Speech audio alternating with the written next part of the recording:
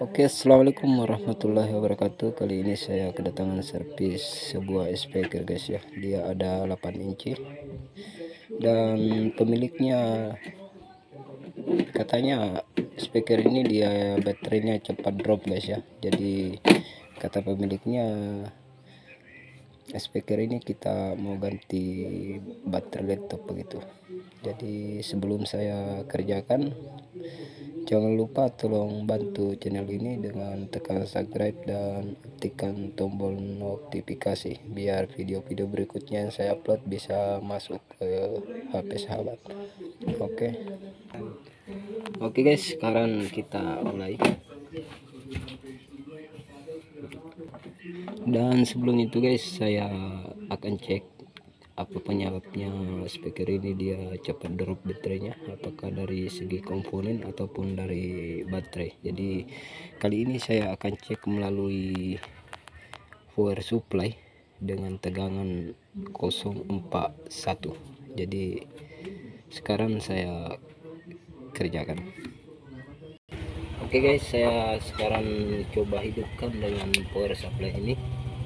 Di tegangan berapa 0404 berhubungan channel ini adalah channel pemula guys dan cara kerja pun masih pemula. Jika ada kesalahan tolong beri komentar biar saya lebih belajar ke depannya guys ya.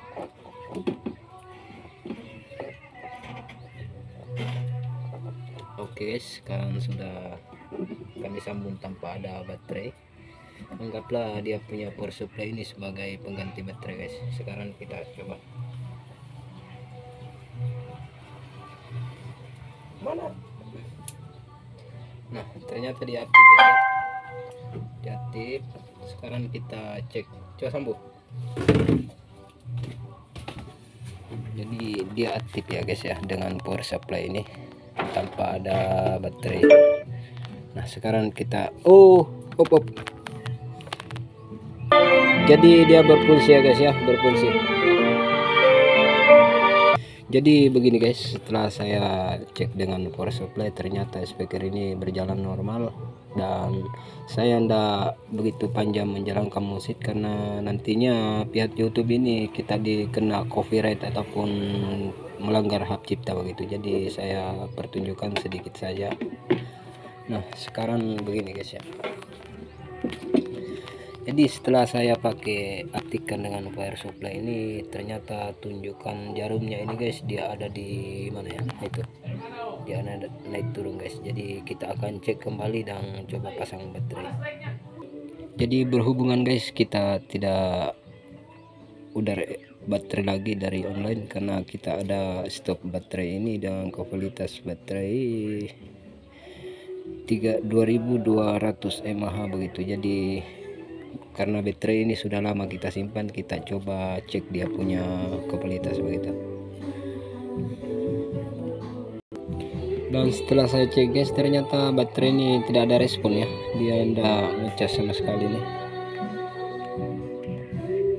Dia jadi kita coba cek di dengan cara lain guys. Dan ternyata ini guys baterai tidak ada respon ya. Kita gunakan dengan cara lain jadi berhubungan guys dia tidak bisa terdeteksi dengan power supply. Kita coba tes dia dengan akumulator ini guys ya.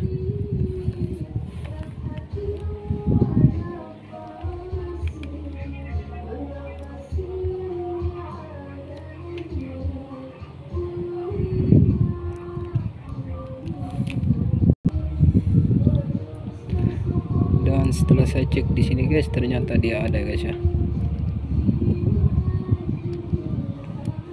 tadi ada tegangan.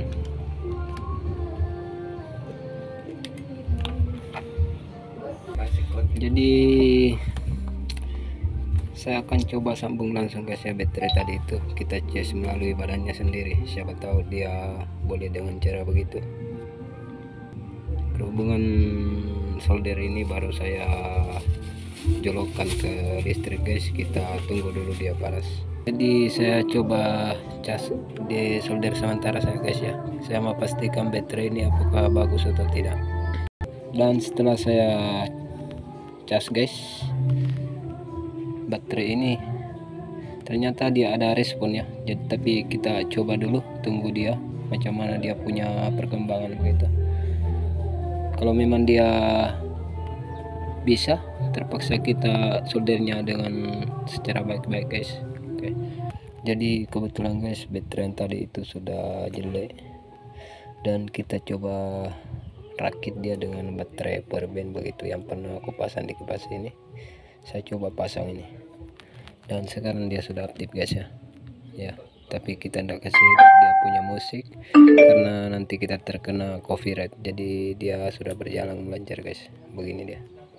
Nanti yang baterai ini aku tanam di dalam speaker yang ini kipas kita pasang yang begini saja.